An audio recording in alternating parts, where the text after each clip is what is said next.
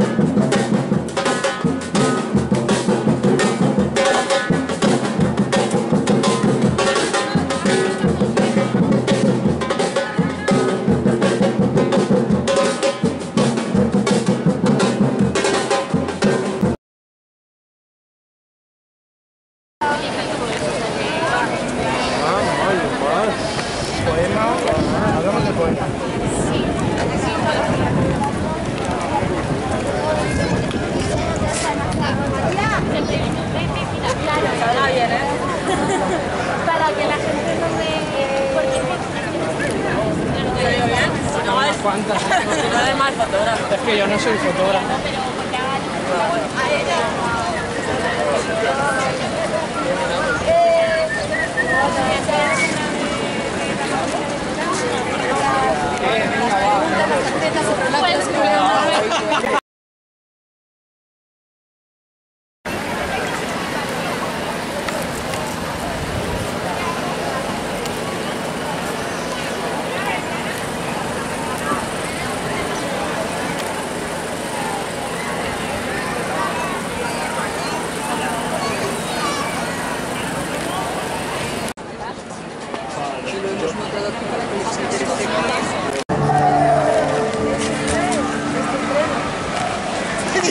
No. Coge uno, coge uno, coge uno. Bueno, ponerlo donde queráis yo.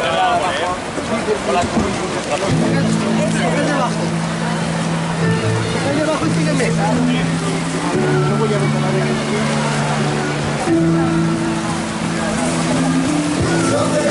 sol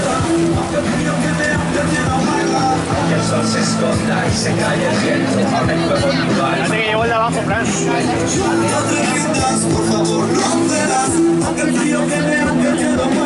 Porque esta es la hora y el mejor momento. Oye, al final a ella La alegría como una trinchera, defenderla del escándalo y la rutina, de la miseria y los miserables, de las ausencias transitorias y las definitivas. Y defendamos la alegría porque el día a día ruina, pero la toma el poder. Y defender la valentía de creer en utopías porque con alegría solo se puede vencer. Defenderla y esa familia palestina que duermen todos en la misma habitación. Por si a la noche cae una bomba y todo termina, no quede nadie vivo por el peso del dolor. Y ese niño palestino solo quiere jugar y después estudiar ser libre para soñar. Quiere ser un niño normal,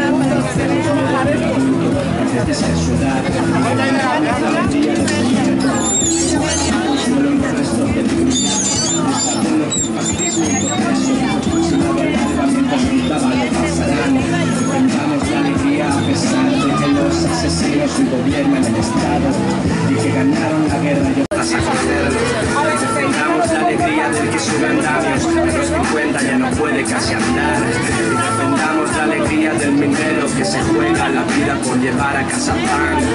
Defendamos la alegría de sacar madera.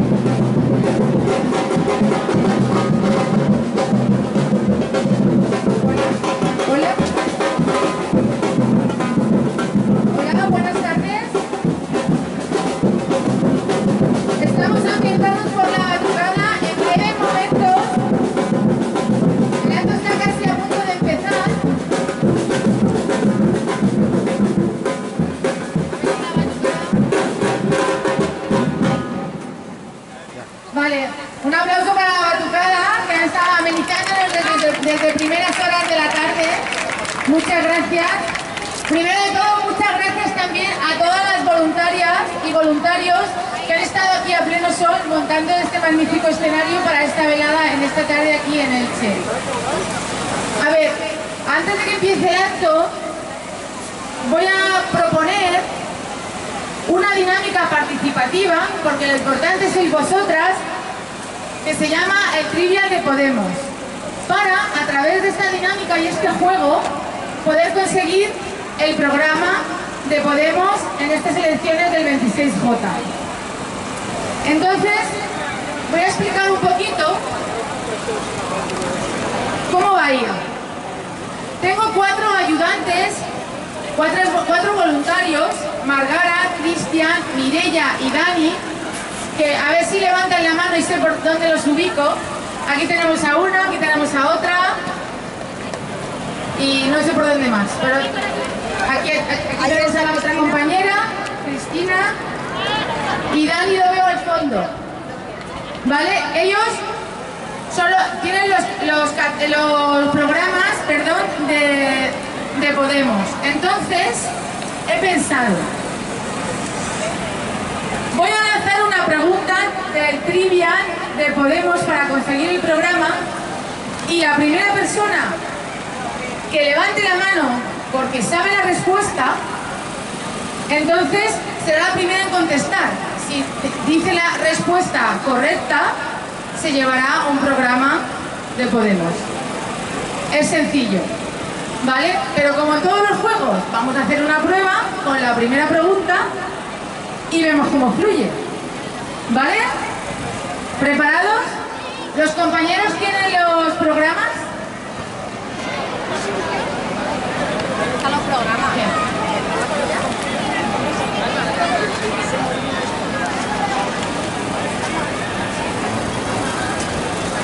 Voy a elegir una fácil. Atentos, ¿eh? ¿Cómo se llama la película de Podemos dirigida por Fer- Fernando León de Aranoa? Si se puede, asaltando el cielo, política, manual de instrucciones, unimos Podemos. Adelante. Yo. Política, manual de instrucciones. ¿Quién ha sido la primera a levantar la mano? Yo, yo, yo, yo, yo. No, es que lo tienen que decir las compañeras. Ah, ah. A ver, levántese. ¿Me podéis facilitar otro micrófono para las contestaciones? ¿Va el compañero?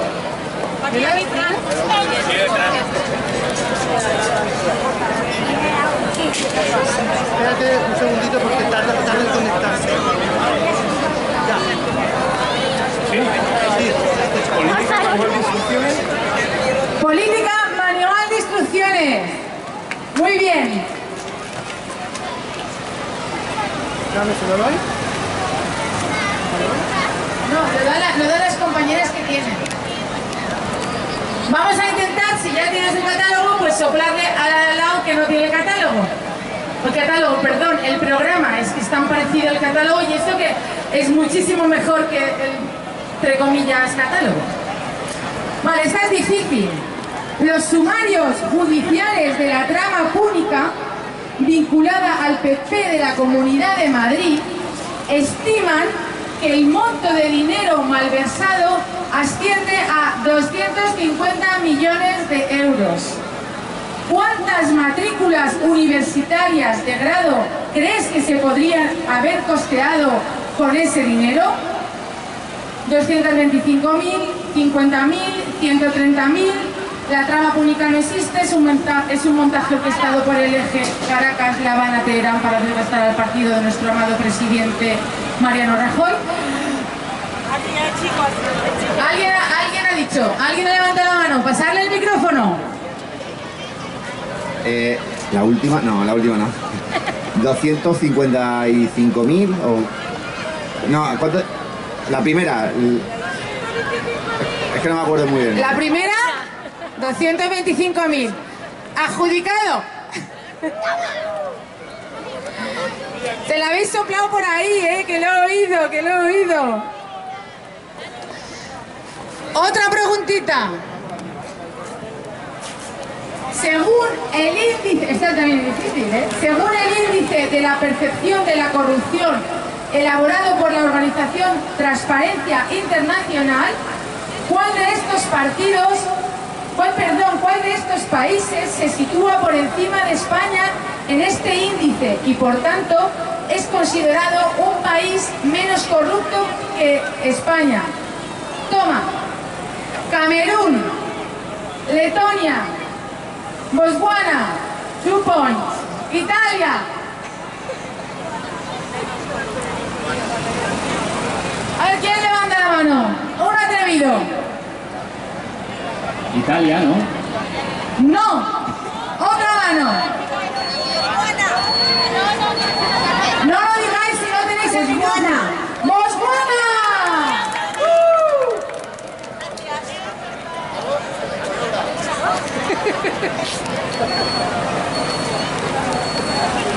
Está muy difícil. y busca una facilita. A ver, a ver esas manos. ¿Cómo se llamó el debate entre Pablo Iglesias y Albert Rivera, moderado por Jordi Évole, emitido el 5 de junio? Lo voy a decir rápido para hacer más tensión. Café con Albert, con aire acondicionado no hay debate. Partido de vuelta en China y comunismo. ¡Manos! Compañeros, elegid el que creáis que es el primero que no tenga el programa. Parti- partido de vuelta. ¡Muy bien!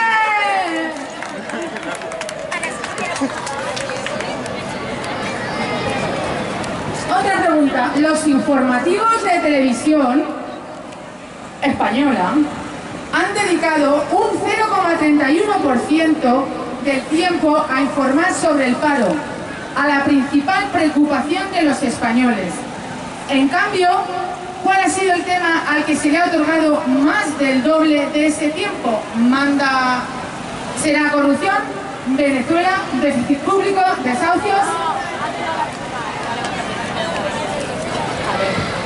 ¿Puede ser Venezuela? ¡Puede ser Venezuela! ¡Madre mía, Venezuela!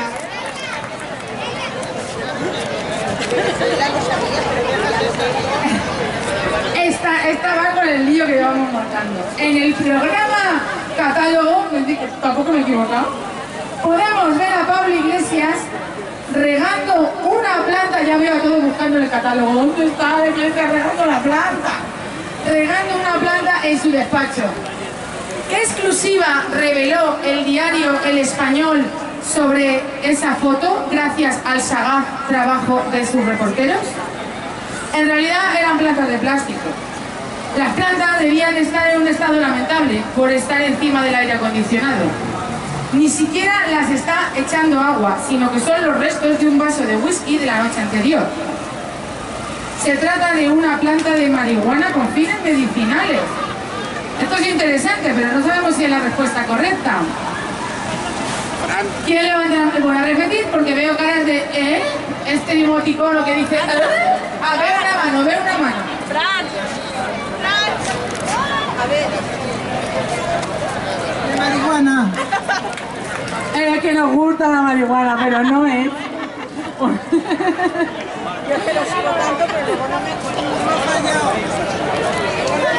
Eh, Vuelvo a repetir, ¿qué exclusiva reveló el diario El Español sobre esa foto? Es que la pregunta es que exclusiva, pero eh, la exclusiva sería que en realidad eran plantas de plástico, que las plantas debían de estar en un estado lamentable. Esto significa, ¿qué es lo que dijeron de este, eh, de, de este hecho de la, de la regada de plantas de Pablo en el catálogo programa?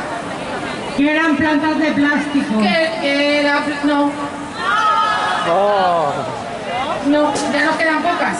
Ya nos quedan pocas. Hemos eliminado la de marihuana y la de las plantas de plástico.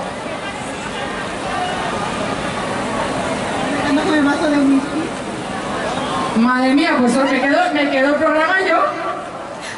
¿La que estaba debajo del aire acondicionado? Exactamente. Es que mira qué ocurrentes y qué sagaces son los reporteros. Otra preguntita. ¿Qué expresidente del gobierno fue contratado como consejero delegado eh, de Endesa con un sueldo de nada, una minu- minucia, 300.000 euros anuales? Felipe González, José María Aznar, Adolfo Suárez.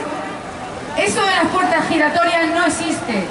Es un invento de la masonería y los de Podemos con intención de mandar el buen nombre de nuestros políticos.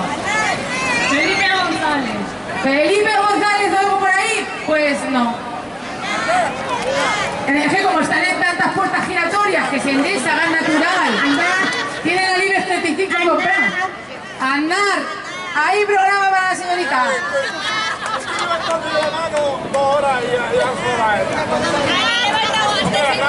Una rápida, una rápida, que quiero, que quiero dar, que quiero dar programas. Lo importante es leerlo, ¿eh? está, bueno, está genial, muy fuerte. ¿Cuánto dinero público desviaron Diego Torres e Iñaki Urdangarín, quién será este, hacia sus sociedades? ¿Cuánto dinero, eh? Esto va de cifras. A ver los economistas. 2 millones de euros. 500.000 euros. 0,8 céntimos. Esto no se lo cree nadie.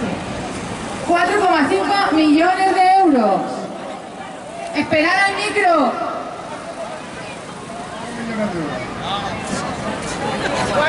Dos millones. Esperar al micro. Esa no es. Do- dos millones no, no, no. Dos millones no. Cuatro y medio. Cuatro y medio. Pero si tienes ya uno, se lo das al de al lado. Otra pregunta. ¿Qué se vota en el Festival Alternativo de Eurovisión? Será un, un- Igual es un fallo, ¿eh? El país europeo con el nombre más gracioso. Él o la diputada del Parlamento Europeo más divertida. El peor, el mejor peor chiste europeo. El país europeo con la bandera más colorida.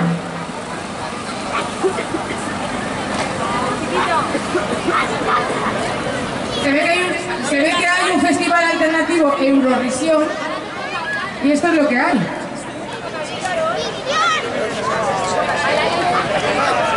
El peor mejor chiste. El mejor, peor chiste. Sí que es verdad. Muy bien. Esto de la risa. Es que los niños tienen esta, esta capacidad. La- ¿Cómo se llama la mascota de la Eurocopa 2016? Super López, Super Víctor, Goalix o Di- Diblo. Diblo. Es tan difícil que está seguro que no es.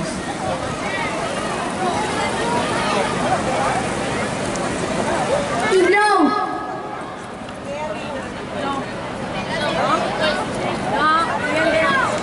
La segunda. Eso no vale. La repito, Super López, Super Víctor, Goalis y Dibro. Super Víctor. Super Víctor. Oye, están ganando los chavales, ¿eh? ¿Cómo se nota que las nuevas generaciones saben de análisis y de trivias?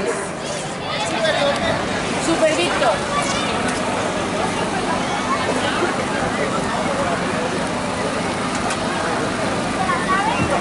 ¿Cuáles han sido las declaraciones del director del FNI ante la pregunta de qué haría Podemos, de qué haría si Podemos llegara al gobierno? A. Yo con Podemos tendré la misma actitud que con los demás gobiernos. B. Espero que no llegue ese día. C. Ayudarles a cambiar este país. D. Yo sobre política no opino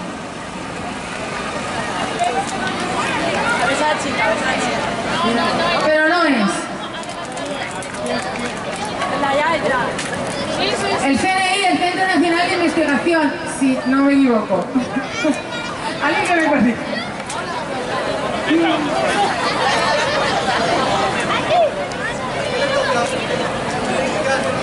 Aquí delante, aquí delante.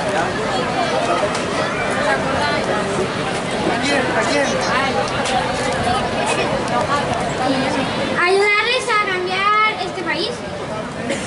Ay, qué bonito, no. Hay que mejorar, ¿eh? Casi, ¿eh? Casi. Repite la pregunta. ¿Otra por ahí? Mira la mujer. Yo de política no entiendo. Es que elegí las frases cortas. Es que es como, si elegí la frase larga, que es la que no me acuerdo, ahí que me llevo el programa.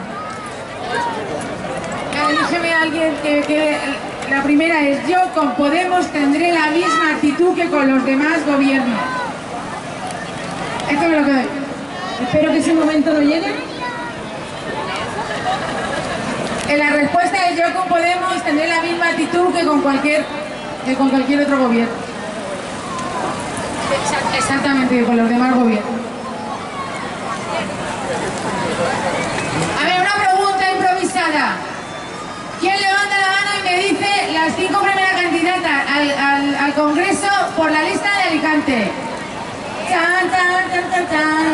O las tres primeras, venga. Alguien que vaya corriendo con una papeleta. Bueno, las ayudantes también puedes decirlo. O la dejo para después.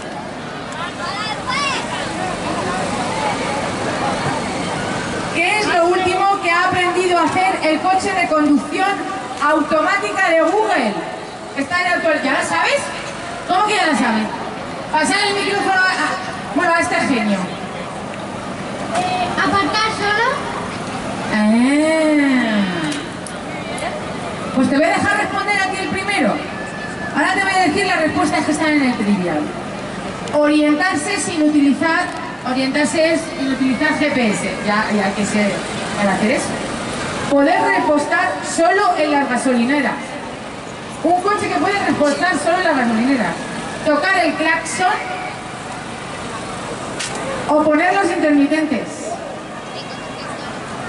Te dejo que te soplen.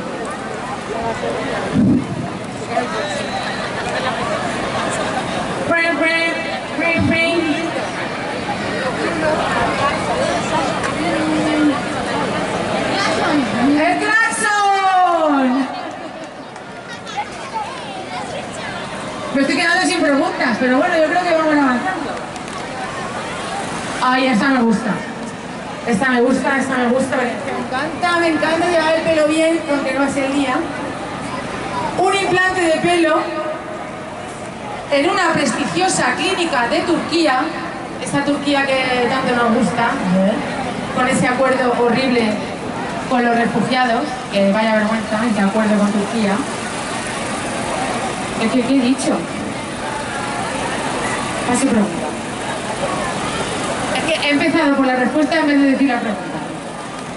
¿Dónde situarías el epicentro del conocido como caso Pokémon? Que chicos, Pokémon, aparte de, de- de los cómics tan divertidos de la tele, hay un caso de corrupción que se llama Pokémon que salpicó a los distintos cargos electos del PP y PSOE en una trama de corrupción múltiple por el amaño de concursos públicos para la obtención de licencias de obras y contratos de prestación de servicios. ¿Dónde? La pregunta clave es ¿dónde? Y ya se lo sabe. Venga, venga, vamos a dar la oportunidad de respuesta sin saber opciones. Andalucía, Andalucía. No. Andalucía. En Andalucía no nos gustan los Pokémon. La comunidad gallega, La comunidad gallega, muy bien. Ya no necesitamos ni batería de respuestas.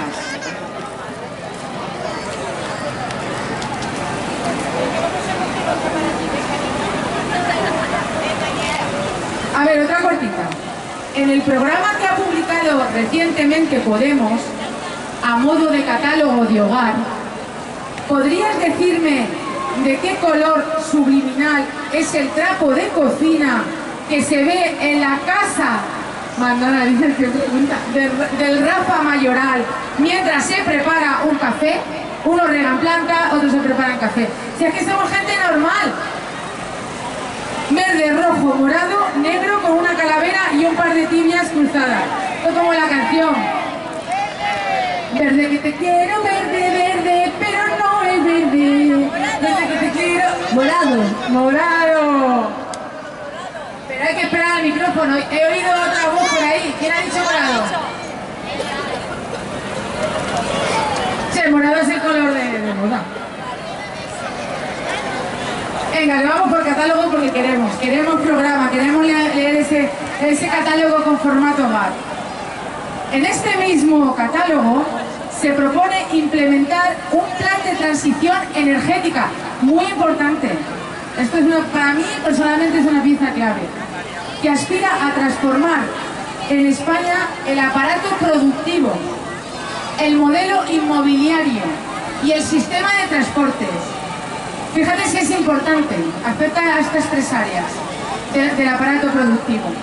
Para pa- avanzar hacia una economía baja en carbono y caracterizada por el uso de fuentes de energía renovable. En España somos ricos en ello y podemos, podemos hacer este cambio, estoy segura. ¿Qué porcentaje del PIB, Producto Interior Bruto, aspira a movilizar este plan al cabo de 20 años? El 0,5, el 1, el 1,5 o el 3. Aquí, aquí. Aquí se han venido.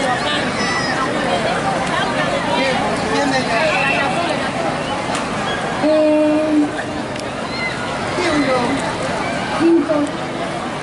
El 5 no está ni en las respuestas.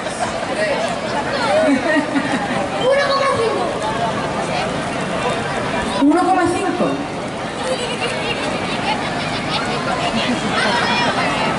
Y esta pregunta es especialmente además importante para darnos cuenta de, una realidad global. Es muy importante también vernos dentro de la globalidad de este mundo, de este mundo globalizado. Así que vamos a escucharla con, con, con un pensamiento empático. ¿Cuánta riqueza acapara el 1% más rico de la población mundial? De la población mundial, según los estudios de 2016. Y es, señores, me alegro de que esta sea la última pregunta. El 10% de la riqueza global, el 1%, el 25% de la riqueza global, el 35% de la riqueza global y más del 40% de la riqueza global. Y con esto acabo. ¿Algún compañero? ¿Por aquí, Fran? El 35%. El 45. Dale a otro niño, ella misma. 45. El 45 y con eso termino. Muchas gracias por vuestra colaboración. Sí, sí, sí. Grande. Madre mía, yo me salía la... compañeros de, de 12 Televisión, de Grupo 3, este,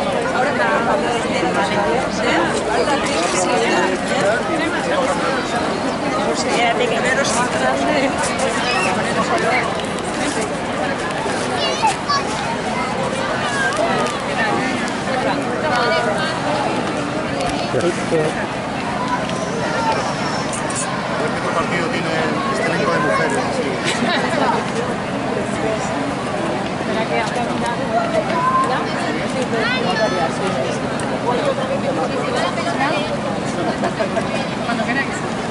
Vale. El debate de ayer, una valoración, conclusiones del debate de ayer.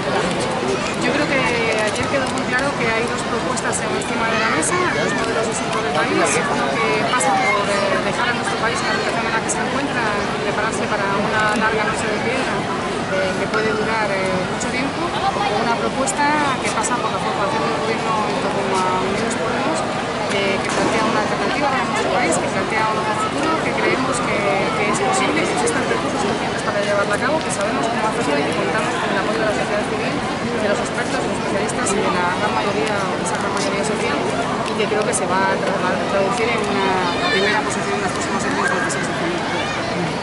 Se han producido dos atentados eh, quería saber la posición de Podemos con respecto a, a qué es lo que hay que hacer y la posición va a tomar. Bueno, nosotros hicimos una propuesta muy clara de lucha contra el yihadismo hace meses que tiene que ver con, con algunas cuestiones eh, que no salen al debate en primera, en primera mención. Me estoy refiriendo a la, financiación eh, eh, y al tráfico de armas, me estoy refiriendo a la lucha contra los paraísos fiscales, que es también una lucha contra el terrorismo internacional, a la colaboración de las distintas policías europeas a través de la Interpol. Es necesario reforzar los mecanismos de colaboración y es necesario reforzar el, control de la venta de armas a países como Arabia Saudí eh, y, otros, y otros países del área que se encuentran, que, que todo el mundo sabe que se encuentran detrás, digamos, de la organización, eh, de las organizaciones terroristas eh, más importantes del mundo. En este sentido, eh, yo creo que, que es imprescindible eh, eso que decimos, es quitarle el agua al pez, mm, evitar las condiciones a través del secreto bancario, los paraísos fiscales eh, y toda la opacidad eh, que rodea el sistema financiero mundial que permite que exista financiación para, para el terrorismo en todos los países del mundo. José Manuel García Margallo Unidos Podemos. Yo creo que, insisto, estamos asistiendo a una campaña electoral decisiva eh, que tiene que ver con los dos modelos de país que ahora mismo tenemos encima de la mesa. Eh, los que intentan defender lo viejo, los que intentan defender el inmovilismo, que nos quedemos donde, donde estamos, están dispuestos a apelar eh, a cualquier elemento que a través del miedo intente, intente generar un freno al cambio.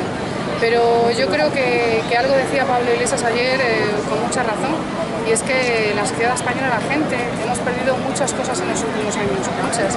Hemos perdido muchos derechos, hemos perdido condiciones de vida que nos permitían eh, vivir con garantías y seguridad para nuestros padres y para nuestros hijos. Hemos perdido calidad en la educación y en la sanidad, eh, pero de lo que uno nos ha dado cuenta desde que también hemos perdido el miedo. Y el que quiera apelar al miedo como, como freno al cambio, creo que no ha entendido que en este país se ha iniciado un proceso de cambio político que es irreversible y que lo que estamos discutiendo ahora es si va a empezar dentro de dos semanas o va a tardar un poquito más. Yo creo que va a empezar dentro de dos semanas y creo que a los que no les gusta tendrán que empezar a asimilar que dentro de dos semanas este país dejará de estar en manos de los corruptos, los mafiosos y los sinvergüenzas para pasar a manos de la gente. Jo voy a preguntar a Angela, eh, vinc a parlar d'igualtat, eh, la dona, què és el que aneu a explicar? Bueno, anem a explicar les distintes mesures que portem per a aconseguir aquesta igualtat, que sabem que és tan necessària eh, la democràcia mateix, i bueno, crec que la representació que tenim de dones en les candidatures de Podemos i de les confluències són representatives de la nostra fermesa en, en quant a la igualtat i, i este acte és una mostra. A més, no només això, sinó que també volem fer un altre tipus d'acte diferent i per això este nosaltres farem, explicarem algunes coses, però també li donarem veu a la, a la ciutadania, veu a la gent per a que pregunte i per a poder intercanviar en una campanya que volem que siga més propera, que volem que siga més humana i en la que puguem arribar quanta més gent millor i sobretot a la gent que fa. Pots eh, concretar alguna mesura que hagis explicat? Bueno, nosaltres portem, per exemple, mesures molt contundents de, de, de pal·liar la situació la que viuen les víctimes, per exemple, de violència masclista. Eh, nosaltres, com per exemple la garantia habitacional sense la necessitat de, de denúncia, perquè sabem que la denúncia és sempre un obstacle per a que es pugui atendre a aquestes dones. Eh, nosaltres portem la igualtat, en la paritat en els, en els permisos de maternitat i paternitat, perquè sabem que això és un obstacle que la dona estigui plenament integrada i en igualtat també en el món laboral. No? Per supost, reivindiquem salaris iguals per a homes i dones que fan la mateixa feina i, i bueno, tenim tot un seguit de mesures, però no només això, sinó també entendre que, que les dones han de ser protagonistes del canvi polític. Estem, és que estem en l'acte d'avui, que cal donar un pas endavant i que, que hem d'estar en la primera línia si volem realment que les dues meitats de la població estiguin realment en una situació de paritat. Gràcies. ¿Qué tal? Vicenta Jiménez, esta es nuestra candidata al Senado. La próxima senadora, llamar. Quiero las tres. Esta persona es del Círculo de Discapacidad del País Valenciano. María Rosa. Lleva un mes era la mejor. Muchas gracias. Y simplemente quería que la llamase y mañana la operan. Mañana la operan y le tienen que meter unos cables. Ánimo, fuerza y ya está. Os saludéis cada una, decir y que estáis aquí y que le dais vuestro ánimo, ¿vale? María Rosa. Y han sacado eh, lo del País Valenciano, unos, unas mociones que se están haciendo por todos los sitios. Pues muchas gracias, chicas. Entonces, como es una compañera nuestra, desearle salud, desearle todo nuestro apoyo y que salga bien la cosa. Ahí estoy nerviosa y, y no quiero quitaros tiempo. Ya. Es que me queda muy poco. aquí en Elche, ¿eh? Sí. Qué delgadita que está, ¿no? Hola, ¿qué tal? Hola, ¿qué tal? Qué delgadita te veo. Me he puesto a dieta, me he puesto a dieta. El No, pero engordé mucho de embarazo y ahora me he puesto a dieta. Ahora tiene, hoy cumple 11 meses. Y ya me tocaba. Para mí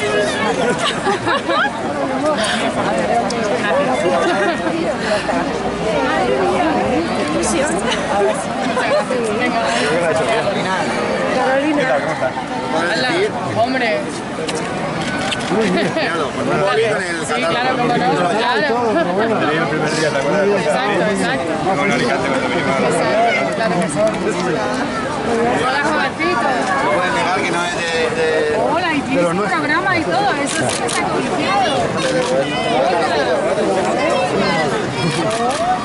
Hola, hola, ¿qué tiempo tienes? Hola, pequeño, pasando muy bien, ¿eh? Venga, muy bonito.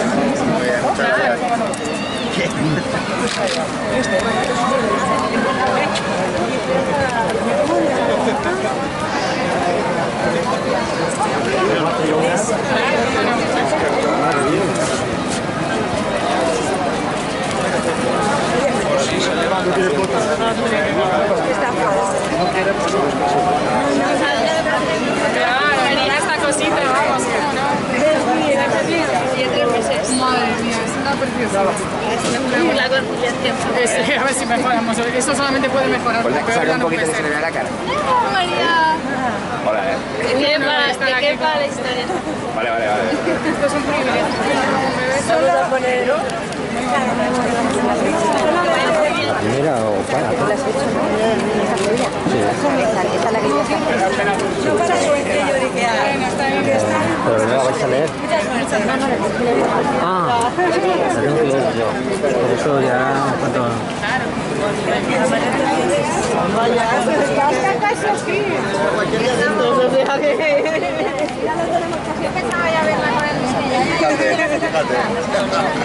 Todavía no. ¿Qué te dicen?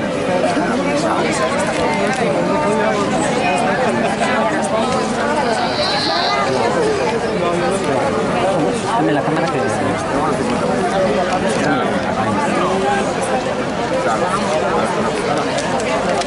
Vamos a plantearle la siguiente pregunta. Eso para después. Para después. Esto es para después. Ahora me sacas... eh,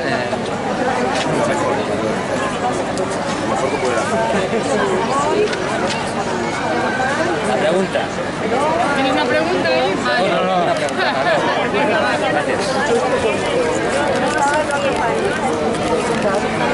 Desde Madrid, desde Madrid. en cuestión de conciliación de la vida maternal.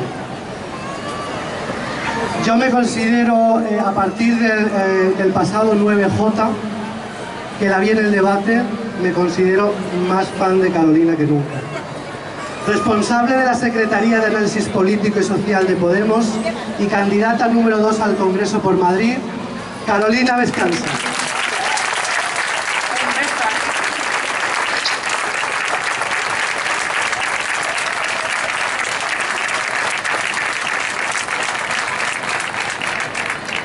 Buenas tardes a todas y a todos. Eh, lo malo de estas hay que estar a la altura y es muy difícil eh, estar a la altura de una presentación tan elogiosa y tan generosa. Muchísimas gracias. Quiero empezar esta intervención dando las gracias a las de siempre, a las que, a las que hemos venido aquí, a las que han venido aquí temprano, han colocado las sillas, han montado los toldos, a las que han puesto el sonido, a los que han montado el castillo, a la gente de producción, a los de los camiones, a los de los focos. Y digo a las de las sillas, las de los toldos, las de los micros, porque estoy casi segura de que la mayoría eran mujeres. A todas las que ponemos el trabajo invisible, gracias a todas. Gracias, por supuesto, a la gente de los círculos de Elche. Muchísimas gracias por haberme invitado, muchísimas gracias por haber organizado este acto tan bonito. Eh, yo sé que, todas las formaciones políticas tienen gente que, que trabaja, pero yo estoy convencida de que no hay ninguna camiseta que haya pasado más veces por la lavadora que la camiseta morada. Gracias a la gente de Elche, gracias a la gente de los círculos, vosotros hacéis Podemos, vosotros sois el motor del cambio. Y gracias, y gracias a todas las personas que, estáis hoy aquí, que habéis apoyado este proceso, que estáis involucradas, involucrados en este proceso y que estáis impulsando, metiendo toda esa energía para que este, este gran cierre de esta etapa tan oscura en la vida política de nuestro país tenga lugar y esta apertura de esta nueva etapa, de este futuro distinto para nuestro país tenga lugar. Solamente la gente, solamente cuando nos organizamos y actuamos colectivamente somos capaces de cerrar etapas y abrir otras nuevas.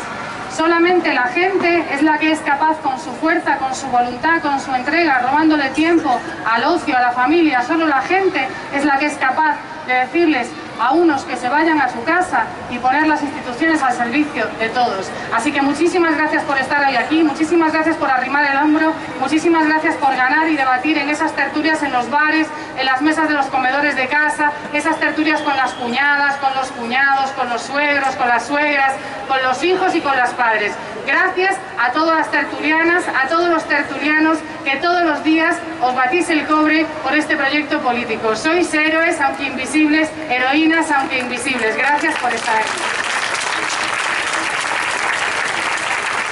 Y gracias, y gracias también, esto creo que es muy importante, a todas las personas que hoy estáis aquí y que no habéis votado Podemos, que en principio no tenéis una idea muy clara sobre Unidos Podemos, que ni siquiera está muy claro si os gusta esto de Podemos, a todas las personas que habéis venido hoy a escuchar, a ver un poco de qué va esto, a ver qué pinta tenemos eh, más de cerca. Muchísimas gracias por darnos la oportunidad de explicaros en primera persona, sin intermediarios, sin medios de comunicación, sin interrupciones, sin perdona yo no te he interrumpido, déjame hablar, espérate que te doy un codazo, sin todo eso, para que podamos explicaros en primera persona qué es lo que queremos para nuestro país y por qué creemos que vamos a ser capaces de hacerlo. Gracias por estar aquí, gracias por escucharnos, tanto si os gustamos como si no os gustamos, muchísimas gracias por dedicarnos vuestro tiempo. Gracias por venir.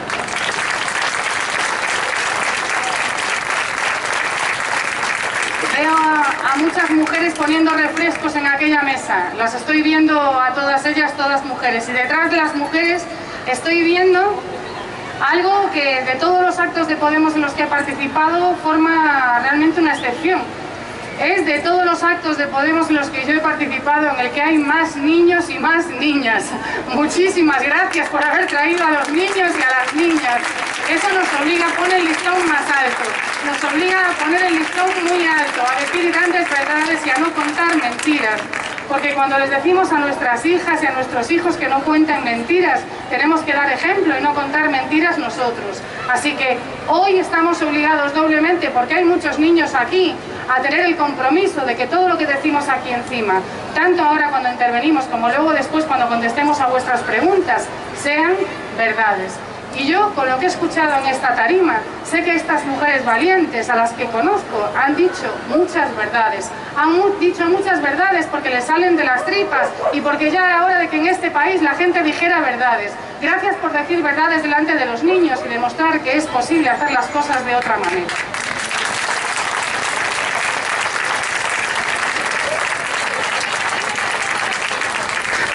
Los niños míos están hasta el moño de ir a todos sitios, así que ahora más bien lo que le he pedido a mi hermana es que me eche una mano y les dé una tregua, los pobres. Cuando, cuando me hablaron de este acto, dije, bueno, voy a, voy a Elche, voy a Alicante, me dijeron, es un acto de mujeres. Te dije, ah, bueno, pues entonces vamos a hablar de, de la situación de las mujeres, de lo que proponemos para las mujeres. Y luego pensé, pero voy a ir a Alicante y no voy a hablar de la corrupción. Ah, no. No vaya a ser que crean que porque es un acto de mujeres, las mujeres les tenemos miedo a los corruptos y no vamos a hablar de la corrupción. Así que sintiéndolo mucho y siendo un acto de mujeres, voy a hablar de la corrupción, porque aquí hay un montón de mujeres que no le tenemos miedo ni a los corruptos ni a sus lacayos. Así que que lo sepan, que hay un pueblo de mujeres que no tiene miedo a los corruptos. Y vamos a de la corrupción, o quiero hablar un poquito de la corrupción y de lo que la corrupción representa para los hombres y para las mujeres. Pero porque las mujeres en general necesitamos más ayuda de las políticas públicas, para nosotros representa todavía más la corrupción. Cuando hablamos de la corrupción en general, la gente dice, no, la corrupción, claro, es un atentado contra la democracia, porque claro, si alguien se corrompe, deja de obedecer a la voluntad general, deja de obedecer a lo que han mandatado las urnas y empieza a hacer lo que le conviene a él, a ella y a su bolsillo. Y eso es verdad, y eso es una gran verdad. Pero yo creo que eso ya lo tenemos todas muy claro, lo tenemos todos muy claro. Lo que va a costar o lo que ha costado más tener claro, y creo que eso lo hemos conseguido a partir del 15M, y si lo seguimos repitiendo lo tendremos cada vez más gente más claro, y creo que es algo que tenemos que explicar en esas tertulias que tenemos en casa y en el bar, todas esas tertulias que tenemos que ganar. Y aquí van unos datos, ¿eh? voy a dar unos datos para ganar las tertulias. ¿no? Es que la corrupción y la crisis son dos caras de la misma moneda. La corrupción y la crisis económica son dos caras de la misma moneda. Porque las instituciones en este país han estado llenas de chorizos y de chorizos. Es por lo, que la situación económica en nuestro país es la que es. Y eso no se puede obviar. No pueden decir que es solamente un problema de rendir cuentas con la justicia. Es un problema de rendir cuentas con la sociedad. Porque los que han robado en las instituciones no es que hayan robado y han cometido una pequeña infracción por la cual tienen que pagar. Es que los que han robado, han robado camas en los hospitales, han robado plazas de enfermeras y de enfermeros en los ambulatorios. Los que han robado han robado pupitres a nuestros hijos en las escuelas. Los que han robado han robado plazas de estudiantes universitarios en las universidades. Los que han robado han robado recursos para la investigación pública han, robado recursos para de Masí, han robado recursos para construir un futuro distinto para nuestro país. Así que los que han robado no es que se hayan llevado un poquito para su casa, los que han robado nos están robando a todas y a todos el futuro y el presente, y ya no digo de nuestros hijos, también de nuestros padres y de nuestras madres. Y por eso, acabar con los corruptos y con la impunidad de los corruptos no es solamente acabar con una gente que tiene que dar cuentas en un banquillo. Acabar con los corruptos es condición imprescindible para salir de la crisis económica. Acabar con la impunidad es condición imprescindible para salir de la situación económica en la que estamos. Y no vamos a dejarnos ni un aliento en ese trabajo.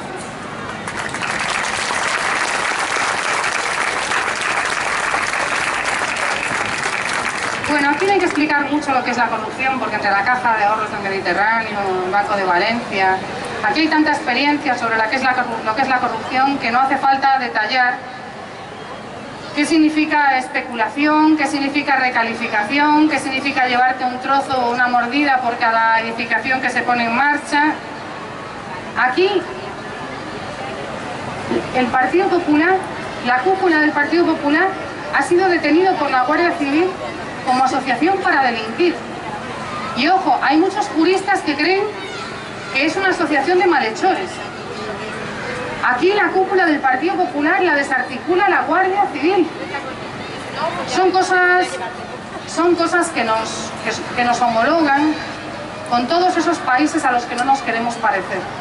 Porque no es posible generar un modelo de crecimiento, de crecimiento basado en la economía productiva con unos responsables en las instituciones cuyas acciones son tipificadas por la policía y por los jueces como acciones propias de la mafia. Eso no es compatible con un modelo de crecimiento. Lo cierto es que desde que, desde que nacimos, desde que nació Podemos, hemos intentado decir todo el tiempo que se pueden hacer las cosas de otra manera, que se pueden hacer otras cosas, que existe otro camino y que sabemos que existe, porque al tiempo que teníamos a esta gente en las instituciones y que la seguimos teniendo, también tenemos la generación de españoles y de españolas más preparados de la historia. También tenemos una sociedad civil perfectamente homologable a las sociedades civiles de los principales países del mundo, con un nivel de cualificación, tanto entre los universitarios como entre los técnicos medios, de cualificación profesional, de capacitación perfectamente equivalente a los países de nuestro entorno. El caso es que desde que nacimos dijimos las cosas se pueden hacer de otra manera.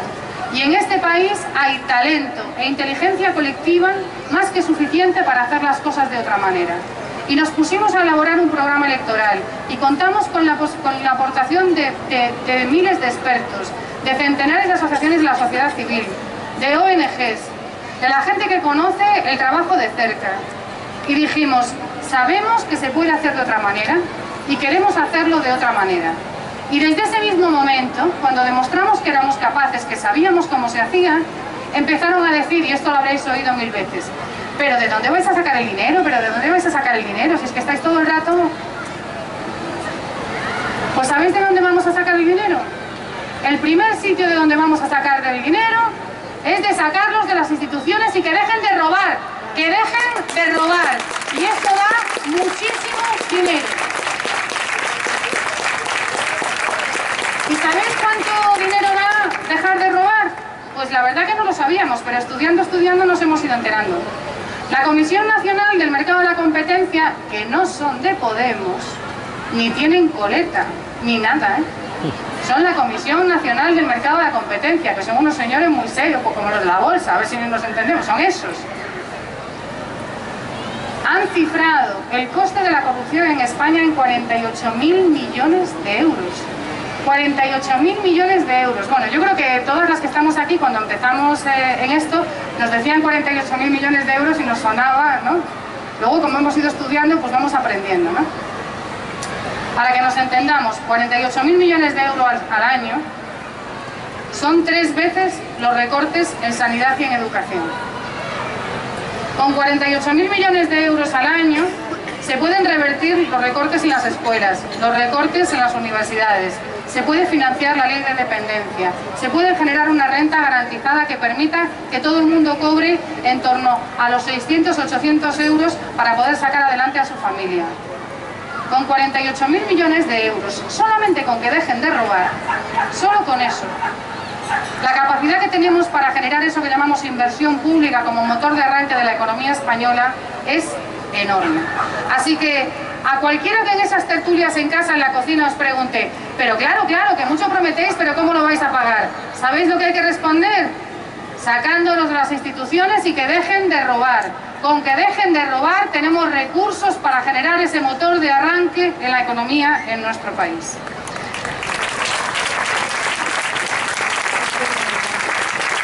Pero no solamente el dinero está en lo que roban. Hay otra parte del dinero que está en lo que no pagan los que tendrían que pagar. En el dinero que se llevan las empresas del IBEX 35 porque consiguen negociar condiciones específicas para su régimen fiscal. Yo estoy segura de que ninguno, ninguna de las que estáis aquí habéis conseguido pagar menos IVA cuando vais al súper, ni habéis conseguido eh, que os retengan menos en la nómina negociando con, con, el personal de la Seguridad Social o de la agencia tributaria. Tú no vas a la agencia tributaria y dices, no, no, a mí reténgame el 6, que yo no tengo ganas de pagar el 25. Porque no, espérate que te invito a comer abajo el menú del día y me lo bajas. Nosotras no. Pero las 35 empresas del IBEX 35 sí.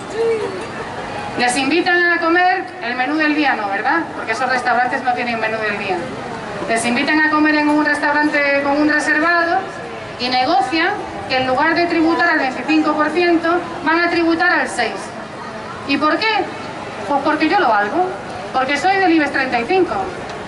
Y entonces les hacen un convenio especial, un estatuto especial, y aunque en principio en los papeles ponía que iban a pagar el 20%, resulta que van a pagar el 6%. ¿Cómo se consigue el dinero para devolver escuelas con dignidad, para devolver universidades para todo el mundo, para conseguir que no se hacinen los enfermos en los pasillos de los hospitales, para que haya una verdadera ley de dependencia? Haciendo que los que más tienen paguen lo que la ley dice que tienen que pagar y rompiendo todos esos papelitos firmados en los restaurantes y diciéndoles la ley es igual para todos, para los que estáis en el IBEX 35 y para los que estamos en casa buscando trabajo. Así se consigue el dinero para recuperar los servicios públicos.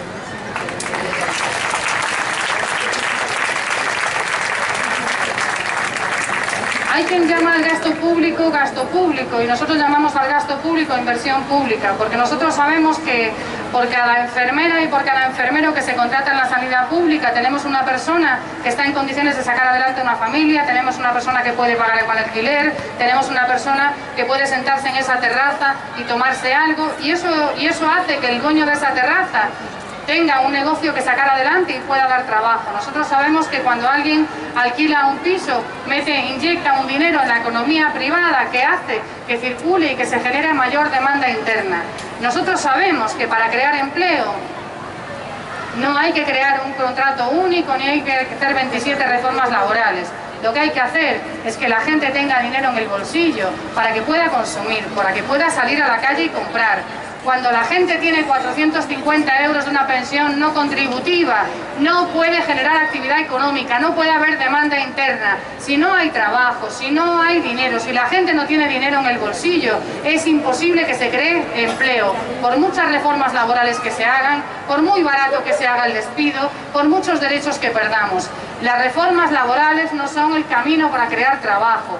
La inversión pública es el único motor de arranque con el que contamos. Y eso es lo que tenemos que recuperar ahora. Un gobierno que revierta las políticas de los recortes y de la austeridad y que decida apostar por un efecto multiplicador de la inversión pública, que decida apostar por una política fiscal expansiva. El otro día, en un acto como este, había menos niños, pero, pero había algunos. Y cuando llegó el turno de preguntas, cuando llegó el turno de en que la gente, bueno, que vosotros habréis hecho unas tarjetas, habréis mandado unas tarjetas ahora y tendremos que contestaros a lo que nos estáis preguntando. Pues, eh, pues alguien, alguien leyó la tarjeta y dijo, esto es una pregunta para Carolina de un niño de 6 años. Y dije, ahora me ha tocado a mí, como no, como todo lo de los niños me toca a mí, pues... Y yo pensé, bueno, una pregunta de un niño de 6 años, llevamos una medida en el programa, ¿no? llevamos una medida que propone que, que los niños no tengan deberes, porque, porque la mayor parte de los pedagogos y de las pedagogas han, han descubierto, han verificado que efectivamente los deberes no ayudan al mejor rendimiento escolar y lo que hacen es estresar a los niños y hacerles vivir, digamos, en la rueda del estrés infantil pues desde que son muy pequeños, ¿no? De tal manera que llevamos en el programa la propuesta de que los niños no tengan deberes. Y yo pensé, cuando me dijeron que la pregunta era de un niño de 6 años, que lo que me iba a preguntar era por los deberes, por si les íbamos a quitar los deberes. Pero no, pero no fue así. No fue así y cuando leyeron la pregunta a ese niño de 6 años, lo que preguntaba era qué es lo que íbamos a hacer nosotros para que no hubiera personas en el paro. Y yo pensé, ¿pero qué está pasando en mi país? Que los niños de 6 años, en lugar de preguntar por los deberes, preguntan qué vamos a hacer para acabar con el paro. ¿Qué país es este?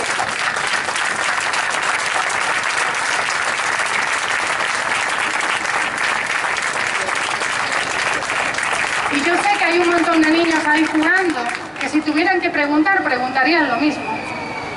¿Qué vamos a hacer para acabar con el paro? Bueno, yo os digo una cosa, nosotros creemos firmemente en que es posible hacer las cosas de otra manera y sabemos que se pueden llevar a cabo políticas para hacerlo. Pero lo que también os digo es que todas las mujeres y todos los hombres que conformamos este proyecto nos vamos a dejar la piel porque no haya ni un niño en este país de seis años que tenga que preguntar qué vamos a hacer para acabar con el paro.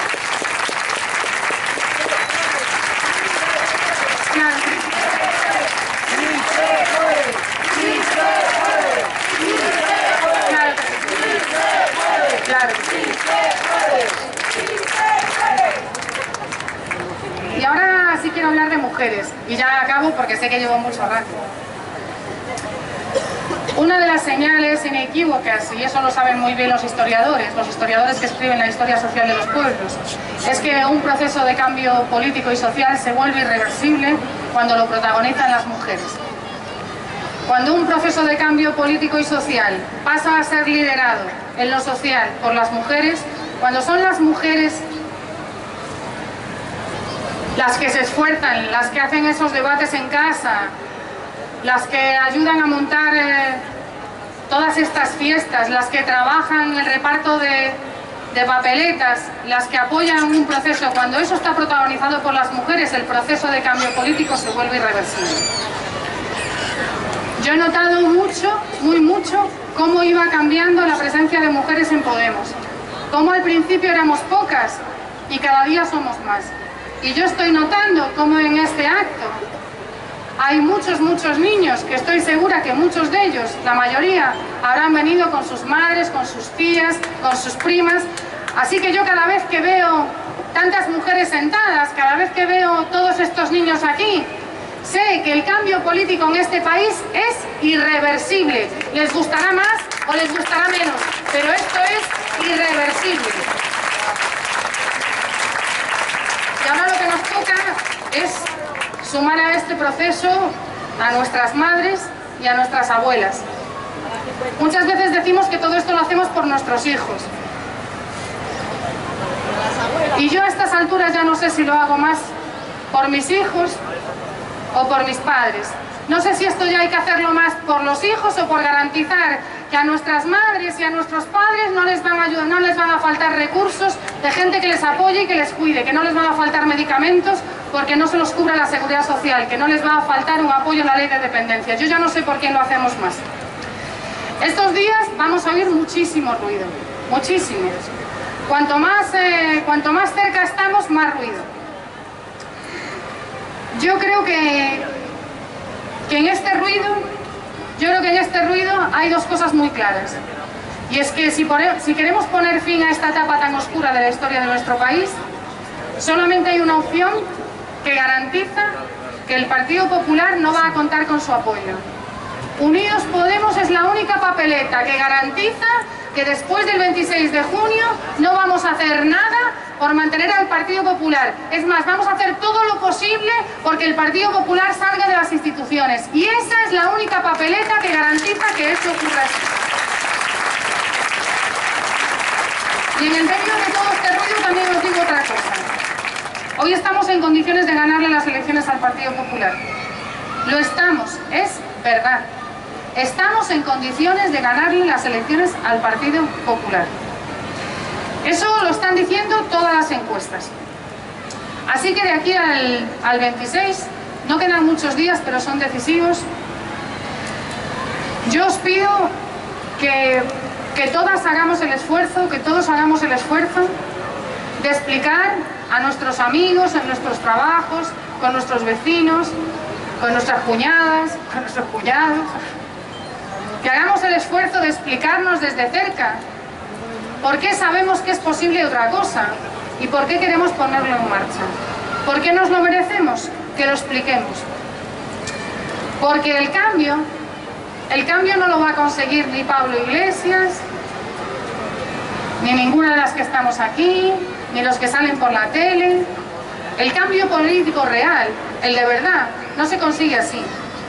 El cambio real, el cambio social real, que es más difícil que ganar las elecciones, ojo, el cambio social y político real se consigue cuando todas y todos nos implicamos en ese proceso de cambio. Así que por favor, a las tertulias, a discutir, a hablar, a transmitir, a ganar, porque saben que podemos, que unidas y unidos podemos. Así que el 26 de junio a ganar, a debatir, a transmitir y a ganar. Podemos, claro que podemos.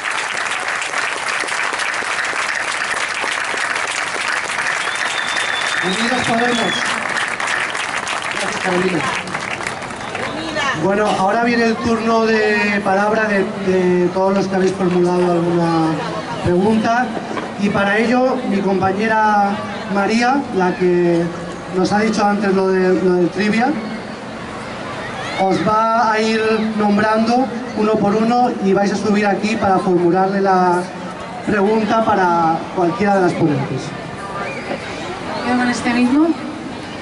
Bueno, la sonrisa de un país. Antes estaba haciendo las preguntas del trivial de Podemos para conseguir ese catálogo y ahora hemos recogido, corrijo al compañero, hemos recogido las preguntas importantes, esas preguntas que nos habéis hecho vosotras.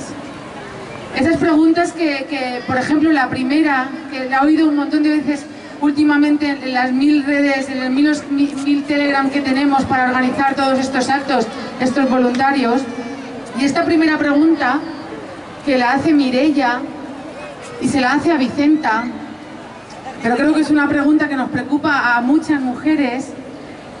¿Qué opinas, aunque parece pequeña pero es grande, pero qué opinas de que en un debate de los cuatro candidatos a la presidencia haya solo un minuto sobre violencia machista? Fácil. Que te- que te- Esta era, esta era la fácil.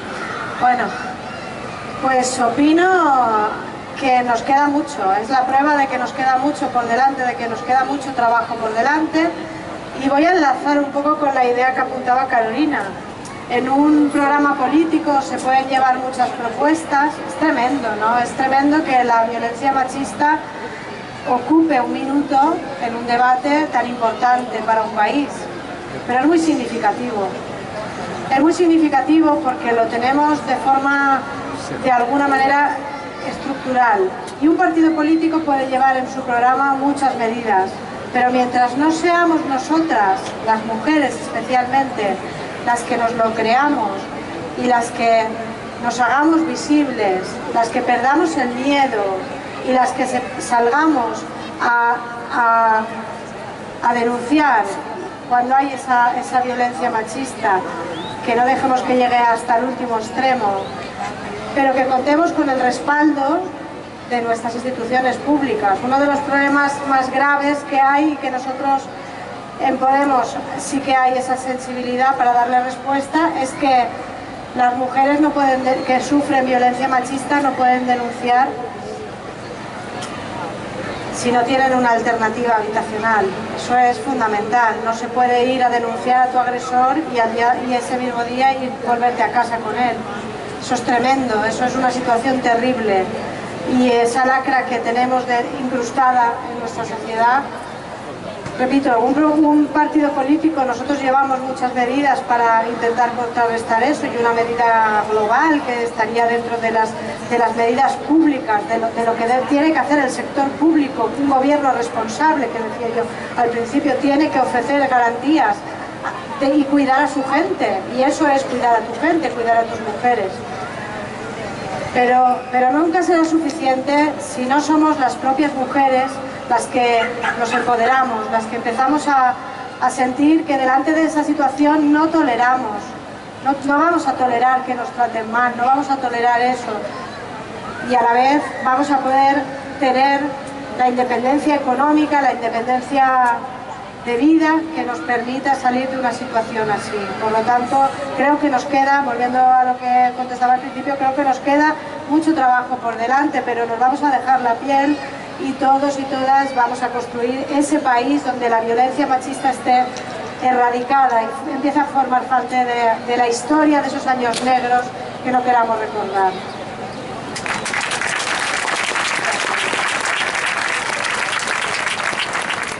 Voy a hacer una pregunta que ha, que ha escrito Alicia para Ángela Ballester, nuestra compañera que sabe tanto de historia, qué importante es la historia también para la política, que a veces se nos olvida, se nos olvida estudiar y entender la historia.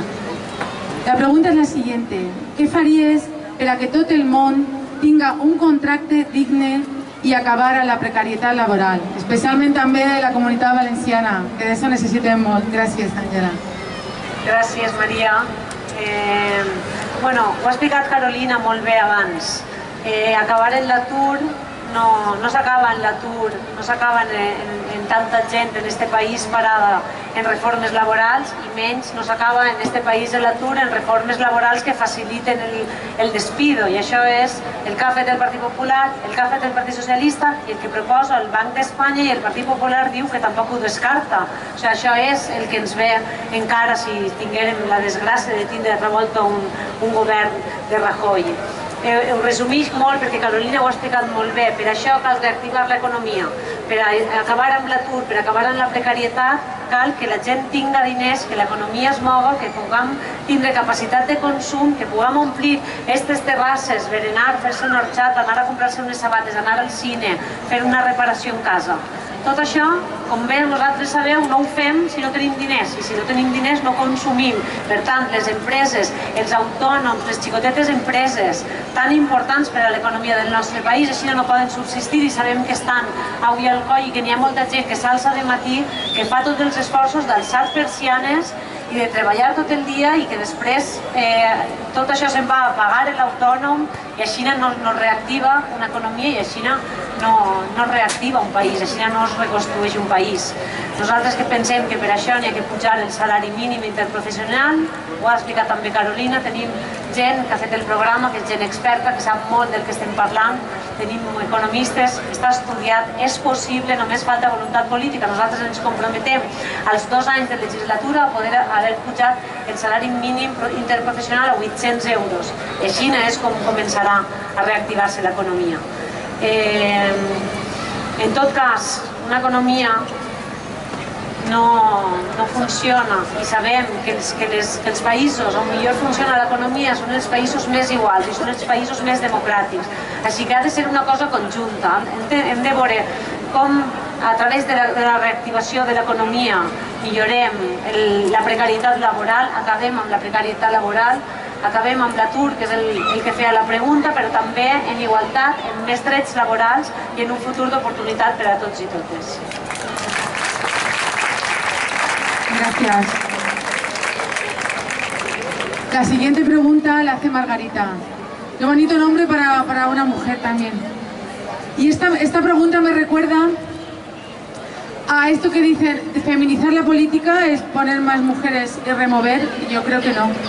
Pero la pregunta es la siguiente y va para Rita, nuestra compañera. ¿Qué medidas pensáis tomar para feminizar la política? Pues muchas gracias, Margarita. Margarita, qué nombre más bonito. muchas gracias por hacer esta pregunta. A ver, eh, tenemos muchísimas medidas en, nuestro programa para este tema y sobre todo eh, tenemos un documento que eh, es el documento de la corresponsabilidad del cuidado, el cuidado. Porque eh, feminizar la política, consideremos que el entorno de nuestros hogares es privado, pero también es un entorno político.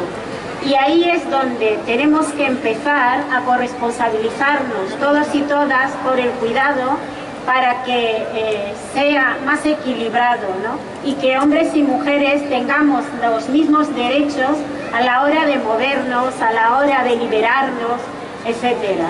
Resulta que cuando hay un problema de precariedad laboral o hay problemas eh, económicos y políticos, las mujeres somos las que primero sufrimos las crisis, porque cuando hay paro y hay desempleo, las mujeres somos las que primero abandonamos eh, nuestro, nuestro trabajo y eh, nos metemos en casa y a responsabilizarnos mayoritariamente del cuidado de eh, nuestros dependientes, y eh, tenemos un gran retroceso en ese sentido porque en la liberación que viven en el sector laboral no la vivimos igual, porque la mayor parte del peso de los cuidados recae sobre las mujeres, aunque parece mentira que hablamos de libertad y de igualdad, ¿no? Fundamentalmente es eso, ¿no? Que la responsabilidad y la corresponsabilidad de los cuidados siga siendo, intente, intentemos que sea algo entre hombres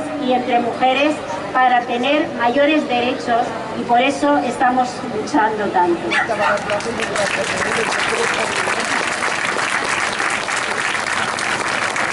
Gracias. Bueno, tengo otra pregunta para Ángela Ballester. ¿Qué medidas realizaríais para acabar con la brecha salarial la brecha salarial de género. Bueno, gracias por la pregunta. Creo, yo personalmente... ¿Soy ella? Sí. Personalmente, la verdad que la brecha salarial me parece eh, uno de los elementos más indignantes de la desigualdad entre los hombres y mujeres. ¿Por qué? Si hacemos el mismo trabajo hay una brecha salarial de más del 30% entre los salarios de ellos y los nuestros. Me parece que es una de nuestras prioridades. Eh, esto se puede resolver con leyes, se puede resolver eh, aplicando la perspectiva de género, la igualdad también, al Estatuto de los Trabajadores, a, los derechos laborales, pero creo que no solo. Creo que no, seguramente esto, como el resto de, de temas que afectan a la igualdad, no se puede resolver solo a base de leyes. Y se tiene que resolver con la participación de las mujeres, también en los consejos de administración de las empresas. Así como tenemos en las listas de Podemos, eh, tienen que ser paritarias, así como pensamos que el cambio que la igualdad, que, ese camino hacia la paridad entre los hombres y las mujeres no se lo vamos a pedir a unos hombres que gobiernen, sino que tenemos que dar un paso al frente, tenemos que dar un paso adelante y tenemos que ocupar también nosotras las instituciones para resolver el problema de la brecha salarial. Consideramos muy importante que las mujeres estén presentes también en los consejos de administración y en la dirección de las empresas. Como sabéis, es ahí, no hay leyes que resuelvan esto.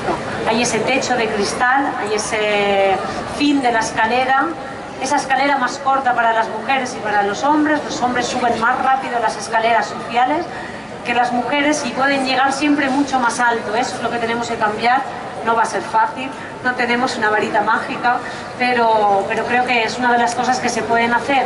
Y también sanciones, también exigir de alguna manera a las empresas que no paguen salarios diferentes a los hombres y a las mujeres que están realizando el mismo trabajo. Así que eh, creo que es uno de nuestros grandes retos y que creo que, creo que es una de las cosas en las que tenemos que, que poner más esfuerzo. Tiene que ser una prioridad para nosotros porque la igualdad económica es la igualdad en democracia y es la igualdad en todos los sentidos.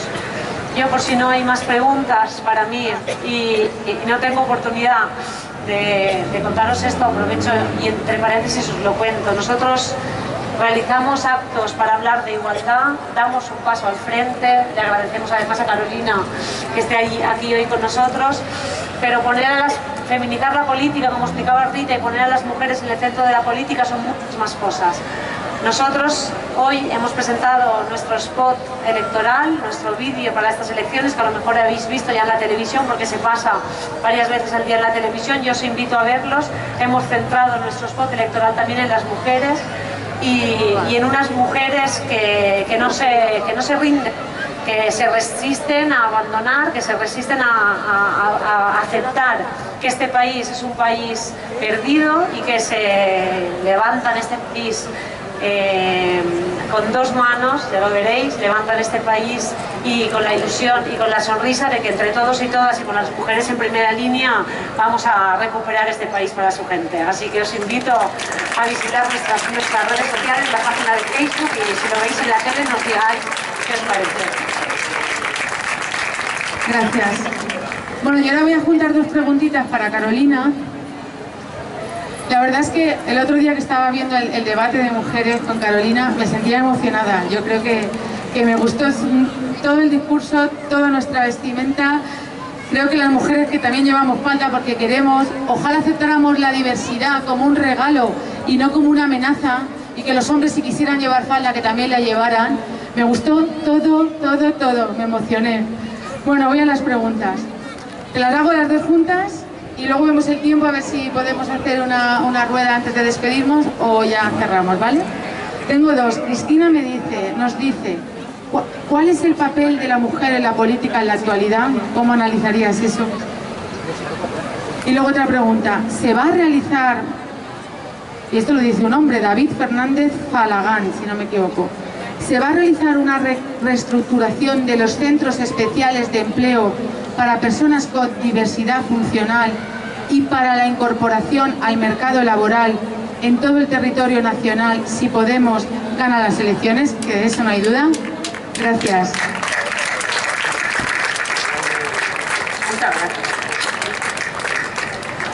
Voy a responder eh, por orden inverso.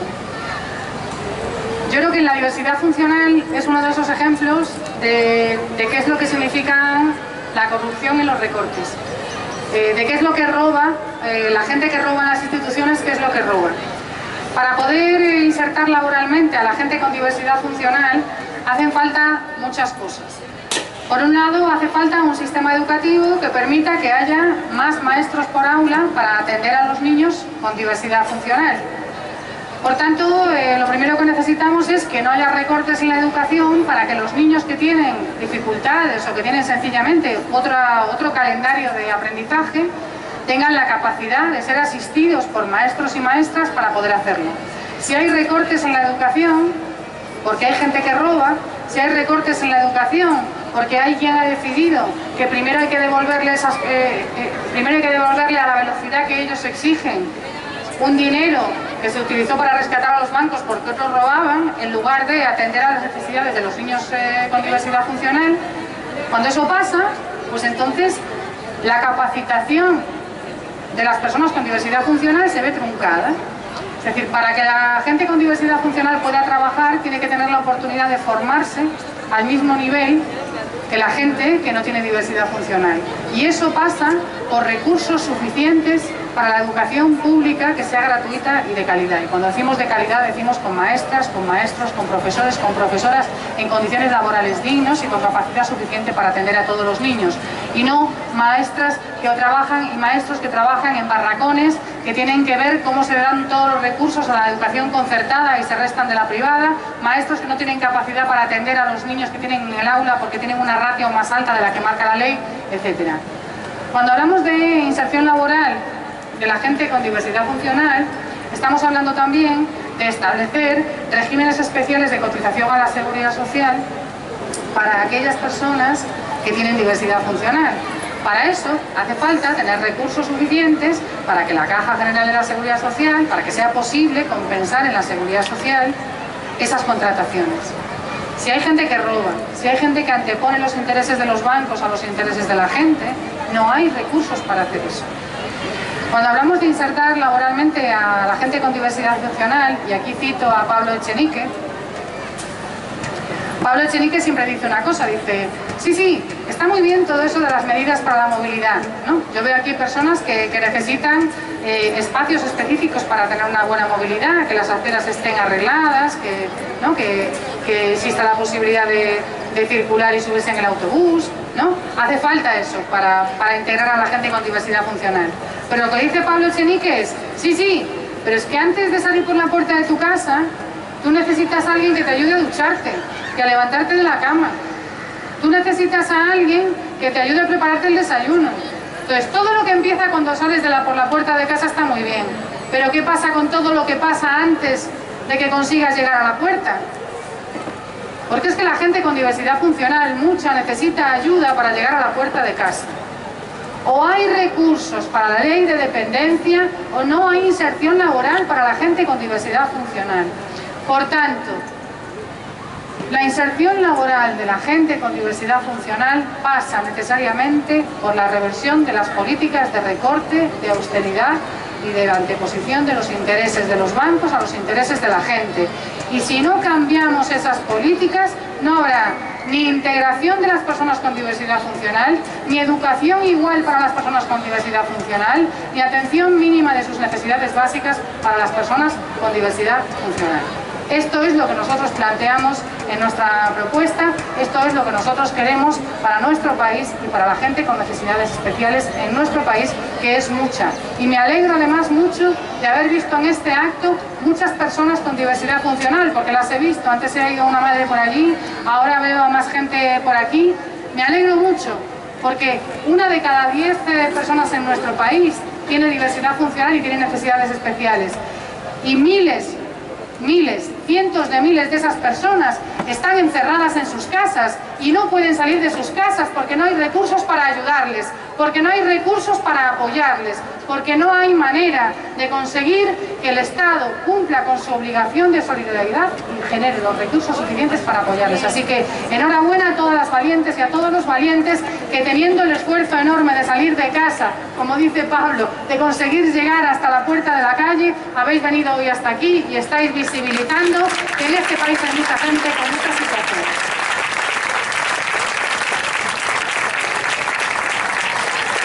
Sobre, ahí estamos, ahí, dando la batalla. Y sobre la cuestión de las mujeres en la política, no recuerdo cómo era la pregunta más o menos, pero me la imagino, ¿no? ¿Qué pasa con las mujeres en la política? Bueno, yo he descubierto que, que la política es más machista de lo que yo pensaba. Y ojo, también he descubierto que hay una relación también muy importante entre el machismo de la política y el machismo de, de los medios de, comunicación.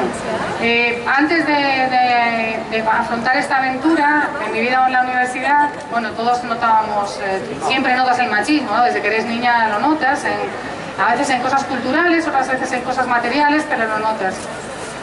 Pero yo no había notado el machismo en la universidad, como luego lo he notado en la política, como lo he notado en los medios de comunicación.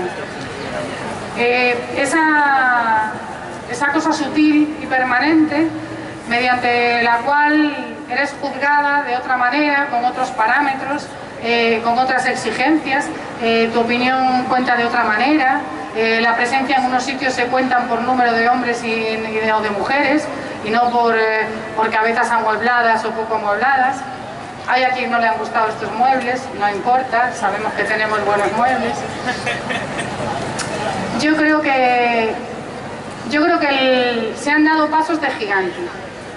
Hace 40 años en este país ninguna mujer podía abrir una cuenta en un banco sin la autorización de su marido o de su padre.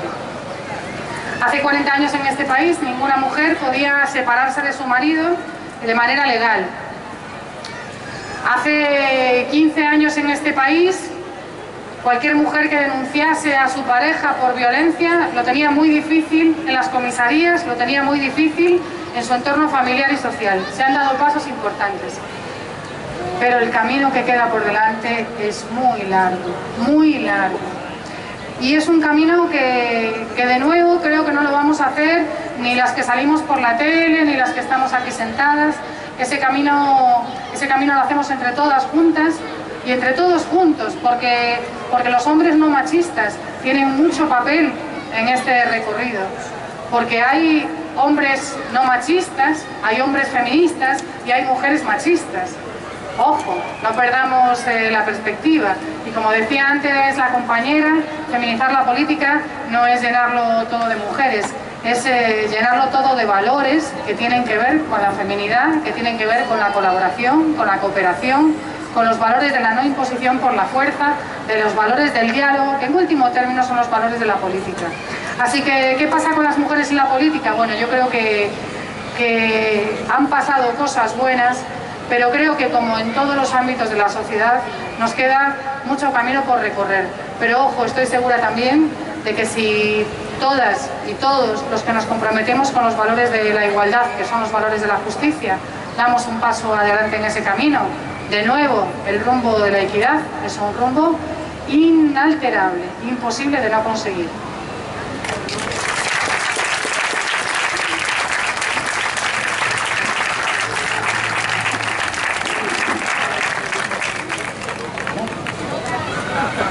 Muchísimas gracias y muchísimas gracias a, toda la, a toda la gente que ha formulado cada una de las preguntas.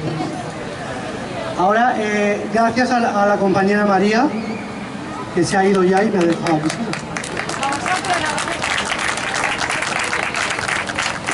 Ahora vamos a abrir un turno breve de cada una de nuestros ponentes, empezando por mi querida Vicenta.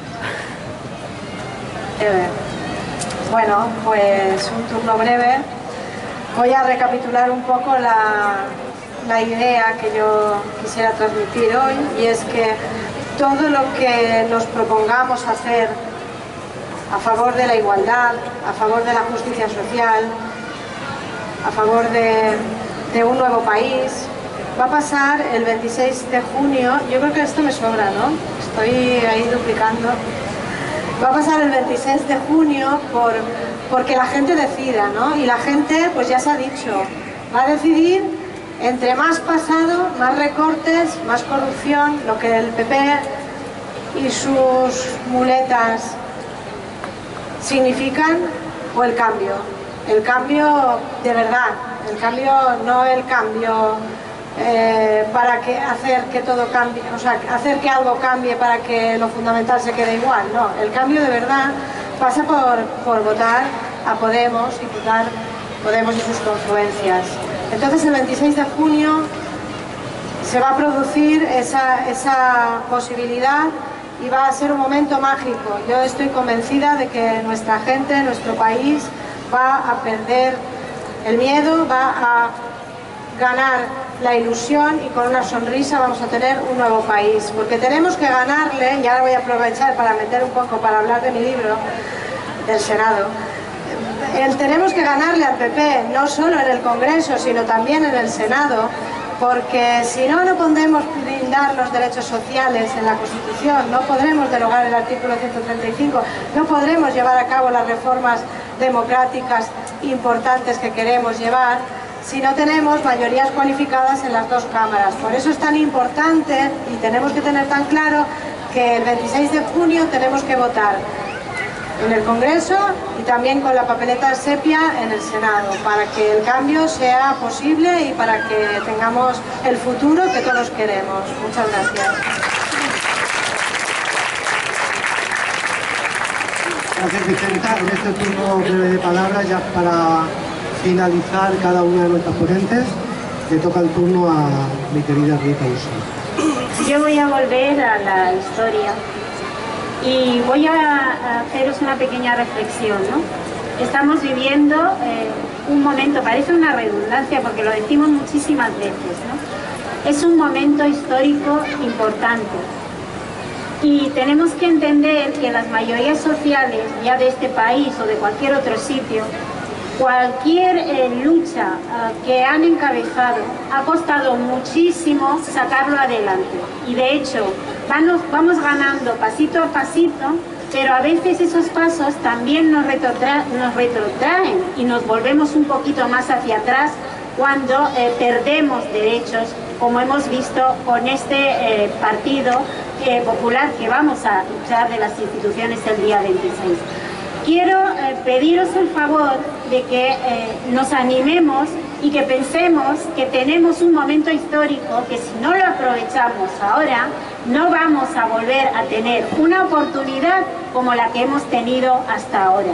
Aprovechemos, vayamos masivamente a votar el cambio el día 26 para ganarle la partida a las, a las políticas austeras del Partido Popular, que es el que nos ha hundido en la miseria que nos encontramos en este momento. Os animo a salir de casa, a votar, a votar cambio, a votar sonrisa, a votar ilusión y a, vo- y a votar con la cabeza, pero sonriendo porque sí es posible el cambio, sí es posible la sonrisa y sí es posible traer eh, las posibilidades que no hemos tenido hasta ahora a nuestro país. Gracias Rita y por esa sonrisa que dice, paso el turno a Ángela Ballester. Eh, gracias, gracias nuevamente a todos y todas. El 26 de junio, ya queda muy poco, el 26 de junio tenemos dos opciones. Tenemos, podemos eh, vivir en un país en el que se perpetúen los privilegios o podemos vivir en un país en el que se blinden los derechos, en el que se defienda a la gente, en el que se defienda a los hombres, a las mujeres, a los trabajadores, a los niños y las niñas, a nuestros mayores, a todo el mundo. Tenemos un país que recuperar, tenemos un país que ganar y yo estoy convencida que lo vamos a hacer junto a todos y todas vosotras y que lo vamos a hacer con ilusión, que lo vamos a hacer con esperanza, que lo vamos a hacer con una sonrisa y que vamos a ser capaces de ser dueños de nuestro futuro y de ganar este país. Muchas gracias. Muchas gracias Ángela. Y ya por último, tenemos el turno a esta madrileña de PRO, Carolina Descansa. Gracias.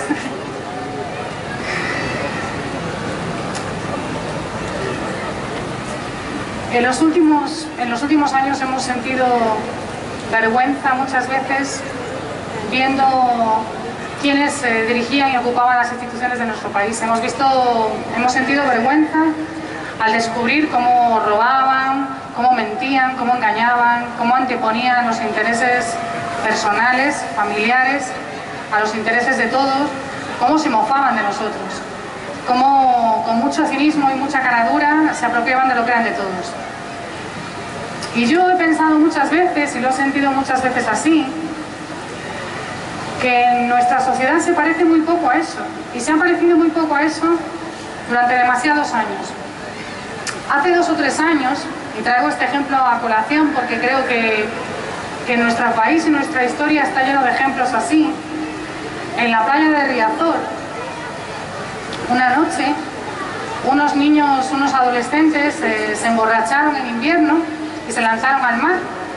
Estaban, estaban bebidos, eran, eran estudiantes Erasmus y varios policías nacionales que estaban de paisano, que no estaban trabajando a esa hora, se lanzaron al mar a tratar de salvarles. Y murieron tres.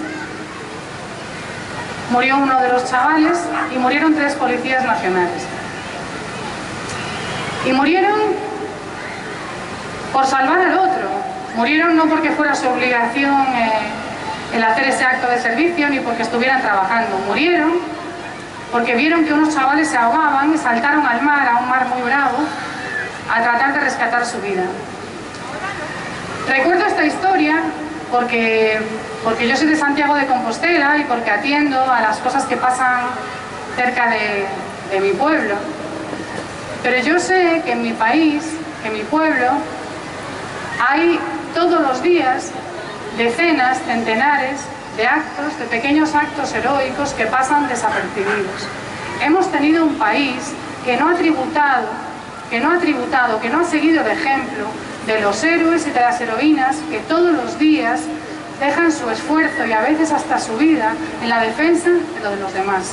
Yo creo que ya es hora de que todos esos bomberos, de que todas esas maestras y esos maestros, de que todo ese personal sanitario que defiende la sanidad pública todos los días echando más horas, haciendo prácticas de riesgo, esos profesores y esas profesoras, esos maestros que llevan galletas a los niños que saben que no desayunan, porque tenemos uno de cada tres niños que tiene dificultades, a todas esas héroes y heroínas que todos los días nos demuestran que hay un pueblo distinto al que representan las instituciones, es hora de que en las instituciones salgan todos estos golfos y entre la gente. Porque tenemos un pueblo del que estar orgulloso, un pueblo que no ha conseguido construir esa patria para todos. Yo creo que ahora mismo tenemos un momento decisivo en nuestro país, el momento en el que la gente, en el que la gente decente entre en las instituciones.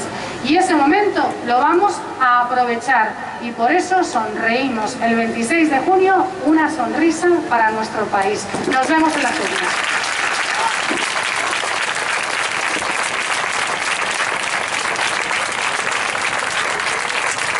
Sonreímos con igualdad, compañeras y compañeros. Muchísimas gracias a las cuatro ponentes, gracias por eh, venir a Elche una vez más. Y así nos despedimos. Nos despedimos porque ahora eh, viene una cantante ilicitana que se llama Vivi Martínez que nos cantará varios temas para finalizar este acto. Unidos Podemos. Gracias a todas las personas que estáis aquí, a los que han venido, a los que se han ido. Gracias por querer cambio, porque unidos podemos.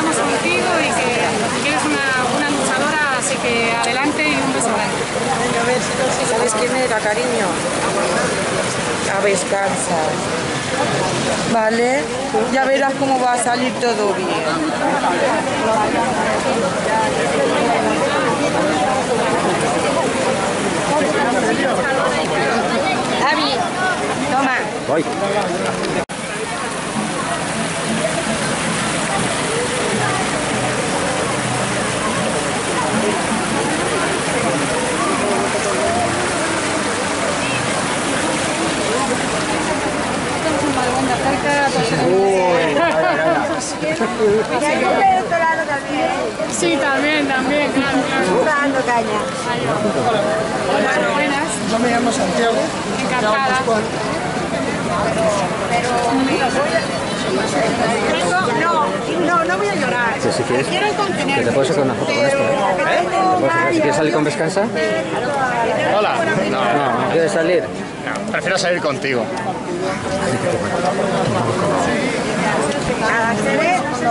Soy diverso.